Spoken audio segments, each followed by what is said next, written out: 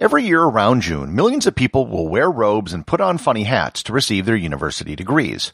But why do they all wear robes? And what's the deal with the flat hat? And why does the hat have a frilly thing hanging off of it? While we're at it, why do we give out degrees named after unmarried men? And why are some people called a doctor if they don't have patients? Learn more about the history of academic degrees and all of the traditions associated with graduation on this episode of Everything Everywhere Daily.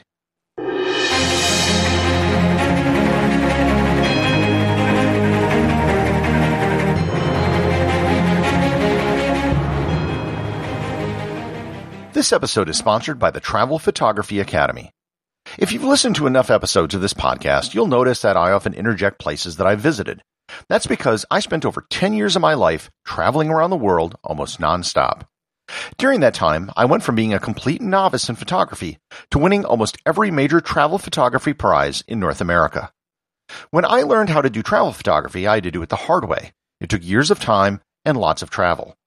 That's why I created the Travel Photography Academy, so you can learn from me in much less time, spending much less money. It's an online video course which I shot on location in France, Spain, and the United States, and I cover everything you need to improve your travel photography. So, if you want to take your photography to the next level and get better photos on your next trip, visit travelphotographyacademy.com or click on the link in the show notes.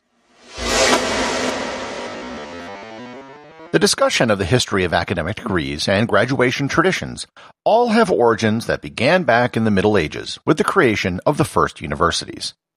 Universities began in a way that was reminiscent of medieval guilds. Early universities can be thought of as guilds of scholars and teachers. In fact, that's where the word university comes from. The Latin phrase Universitas Magisterium et Scholarium means a community of teachers and scholars. The first universities, as we know of them today, started in Europe and they were run by monks. The first place we can call a true university was the University of Bologna in Italy, which was founded in 1088. There was certainly education before this. The ancient Greeks had academies, and tutors would often teach the children of the wealthy for centuries. Prior to the rise of universities, there would be cathedrals and monastic schools, but their education was very basic. The rise of urbanization and the demand for a more professional clergy required something beyond mere literacy. Bologna was the first institute to use the university name, grant degrees, offer secular degrees as well as religious ones, and was independent of the church or whatever the local secular power was. It was run like a guild, except instead of masons or blacksmiths, their profession was knowledge. The degree system we have today loosely mirrors the levels of a guild, they had levels such as apprentice, journeyman, master, and grandmaster. A master's degree was originally just a license to teach. The term comes from the Latin word magister. Being a master in a field of study was similar to becoming a master in a guild. At first, earning the rank of master only accorded you the ability to teach at the institute where you earned your degree. However, in 1233, Pope Gregory IX issued a papal bull allowing those who reached the rank of master at the University of Toulouse to be allowed to teach at any university. This began the tradition of degrees from one university being recognized by other universities. The doctorate degree was originally considered at the same rank as a master. The word doctor comes from the Latin word for to teach, doceo. The first people who had the word doctor associated with them were early church teachers. The original doctors of the Catholic Church were St. Gregory, St. Ambrose, St. Augustine, and St. Jerome. The first doctorate degrees were awarded by the Church, not by universities. They issued what was known as a licentia docendi, which literally meant a license to teach, in this case referring to theology and religious matters. Earning a doctorate required nothing more than taking a test, paying a fee, and taking a loyalty oath. As universities became more numerous and grew in prestige, the monopoly the Church had in issuing doctorates became a bone of contention. In 1213, Pope Innocent III granted the University of Paris the right to issue doctorates, and it eventually became widespread. The University of Paris, only a few years later, in 1231, issued the first bachelor's degree. The term comes from the medieval Latin word baccalaureus. It wasn't a word that the ancient Romans would have used. The term is borrowed from a knight bachelor. A knight bachelor is the lowest order of knights. They were usually too young or too poor to have vassals or land, and they weren't inducted into a chivalric order. The word may have been derived from the classical Latin word baculum, which meant a stick which reflected the wooden swords that they would have trained with. At this time, the term bachelor was also used by guilds and was an equivalent of yeoman or journeyman. It wasn't until the 19th century that the term bachelor began to be used to refer to unmarried men. The early universities restricted themselves to the seven liberal arts, which were broken into two parts, the trivium and the quadrivium. The first bachelor degrees were issued for the study of the trivium, which were considered the basis of the liberal arts, and these included grammar, rhetoric, and logic. A master's degree was awarded for the study of the quadrivium, which consisted of arithmetic, geometry, music, and astronomy. So at this point in the 13th century, bachelor's and master's degrees were for the study of the secular liberal arts, and a doctorate reflected the ability to teach theology. The rank of master and doctor were considered equivalent at this time, as they both reflected the right and ability to teach. The use of the term doctor to refer to physicians is also a relatively modern thing. It began to be applied to medical practitioners in the 18th century, regardless if they held a doctorate or not. This system of academic degrees was in use until the 19th century.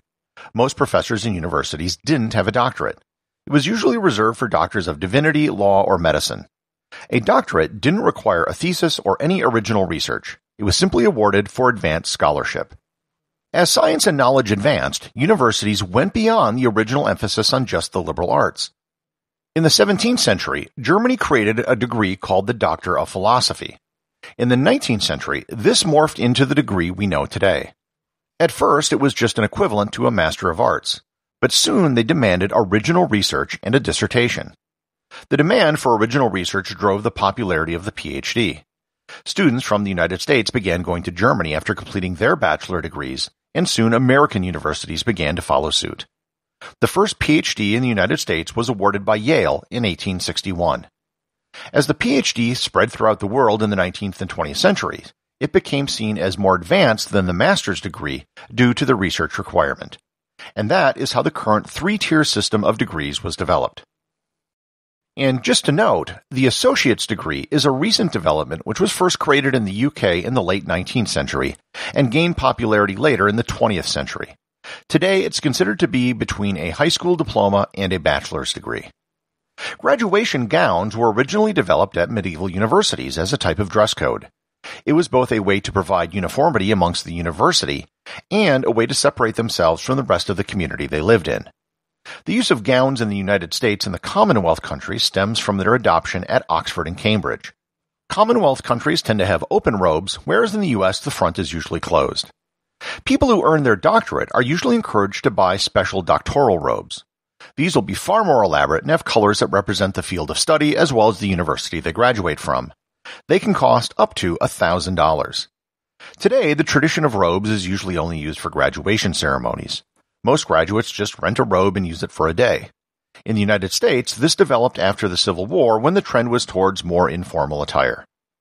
The mortarboard, or the square hat graduates wear, is believed to have been derived from the Italian biretta, which was a square-shaped clerical hat.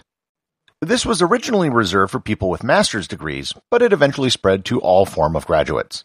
In other countries, they wear a less rigid form of headwear, but it still has a large flat top. The tassels attached to the hat were originally used to reflect various degrees. Today, they might be colored to reflect an area of study, and they may have adornments for various honor societies. One modern tradition is to wear the tassel on the right side before the diploma is issued, and then move it to the left side once it's been received. There is an entire academic dress code in the United States, which was created by the American Council of Education, which goes into far more detail about absolutely everything, including how the sleeves should be cut for people getting master's degrees. I will leave this to you as a homework assignment. As with so many things in the modern world, much of what we take for granted are actually ancient traditions which have been passed on to us for centuries. Academic degrees and graduation regalia are just a few of those traditions that are still with us today.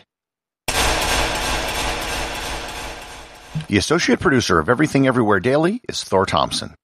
If you'd like to support the show, please donate over at patreon.com. There is content only available to supporters merchandise, and even opportunities for a show producer credit. If you know someone you think would enjoy the show, please share it with them. Also remember, if you leave a five star review, I'll read your review on the show.